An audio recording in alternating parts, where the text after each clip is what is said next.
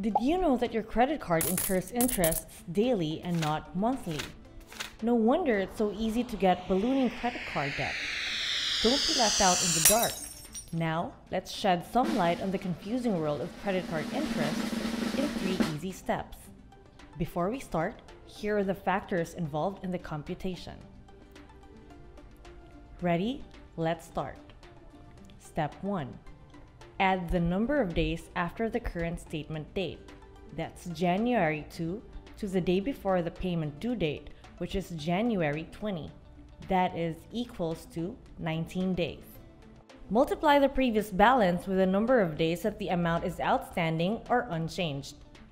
That's 10,000 pesos times 19 days equals 190,000. We'll get back to this answer later. Step 2.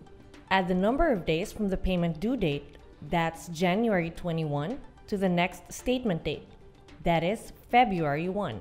Adding these, that's 12 days. If there is a payment, deduct the payment from the previous balance and multiply it with the number of days from the payment date until the next statement date. That's 10,000 pesos minus 5,000 pesos of the remaining balance times 12 days. That's equal to 60,000 pesos. We'll get back to this answer later. Step 3. Add the number of days from the previous statement date of December 1 to the current statement date that is January 1. In total, these are 31 days. Add the balances from steps 1 and 2 and divide by the number of days from previous to the current statement date. That is equal to 8,064 pesos and 52 centavos. The total finance charge for the current statement date is 8,064 pesos and 52 cents, multiplied to the monthly interest rate of 3.50%. That amounts to 282 pesos and 26 cents. This is the total interest incurred for the current billing cycle. Lastly, add the remaining balance of 5,000 pesos.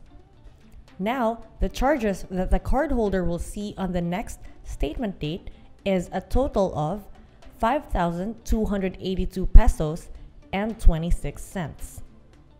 Now that you know it's easy to calculate credit card interests, it's still best to avoid piling debt. Your credit card is a convenience tool and you should be the one to control it, not the other way around. To understand more credit card terms and see the full calculation, click the link in the video description to learn more.